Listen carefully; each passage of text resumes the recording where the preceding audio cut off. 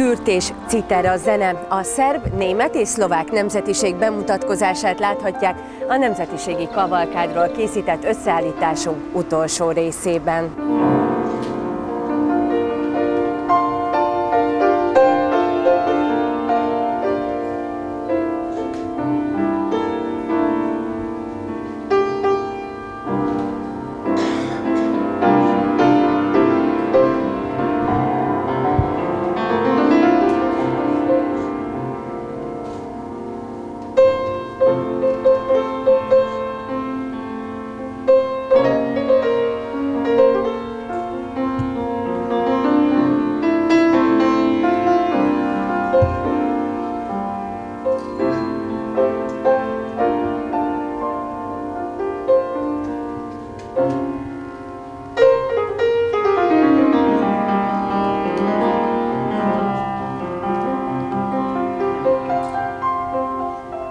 A jazz ugye tágfogalom, improviza, improvizatív műfaj, és éppen ezért rengeteg népzene, népzenei stílust bele lehet építeni az improvizációba.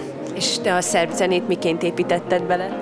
A szerb zenének van egy bizonyos hangulata, amit bizonyos skálák adnak, és akkordok. Szerb motivumok, ilyen, amelyekben szerepelnek török, illetve keleties hatások is.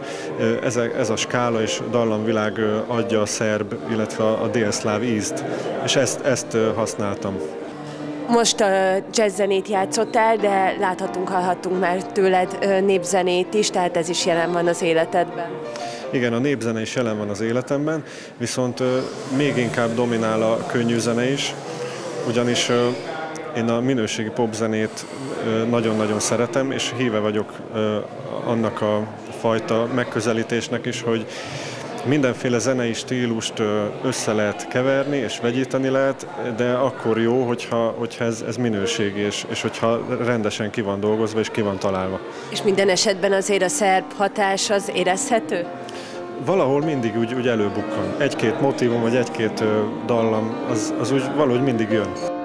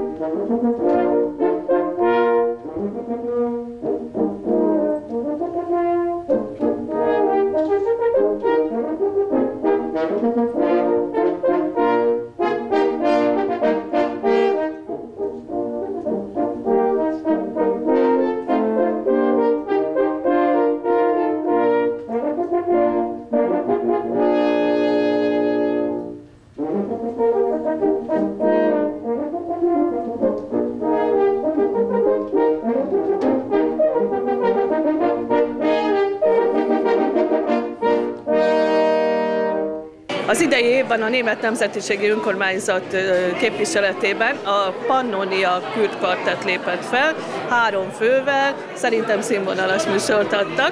Az ételkóstolón pedig burgundi marharagú, ami ugyan nem kimondottan sváb étel, vagy német étel, de aki megkóstolta, még mindenki azt mondta, hogy nagyon finom. Marhahús, nagyon sok hagyma, gomba, zöldség és különböző fűszerek.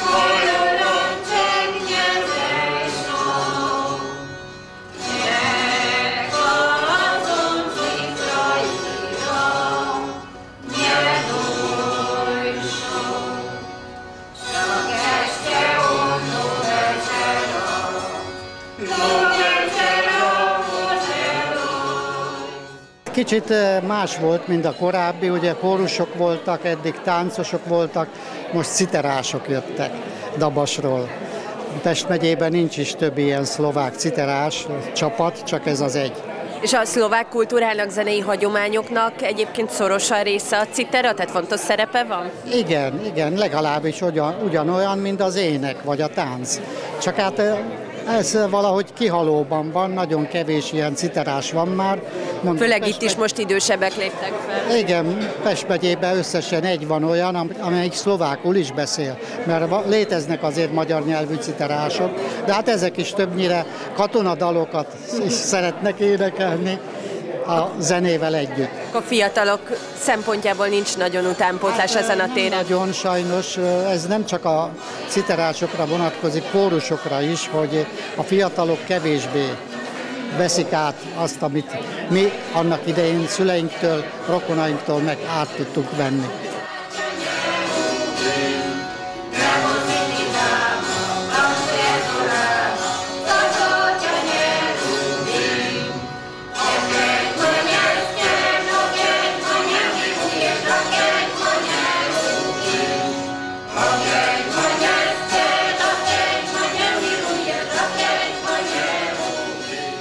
Hogyha valahol a szlovákok ott vannak, önök Ferencvárosi szlovák nemzetiség, akkor biztos, hogy van strapacska is. A strapacska az mindig is van. Nagyon sok olyan magyar ember van, aki nagyon szereti. És vannak olyanok, akik ha már tudják, hogy hol szerepelünk, akkor már oda készülnek, hogy strapacskát viszik, hozzák az egész családot. Yeah,